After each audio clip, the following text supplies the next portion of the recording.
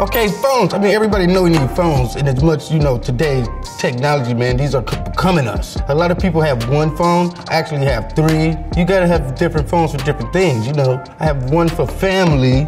You know, just like you know, real important business. You gotta have that for this. You know what I'm saying? To let you know it's like the bat signal. Then this is just like for you know, random, you know, everyday people. You know, you meet on the street. You be like, hey, you know take my number. You know, back in the day, you used to get people fake numbers and stuff. But now you just give them your real number, but you don't. You can just block them or don't answer it or do stuff like that.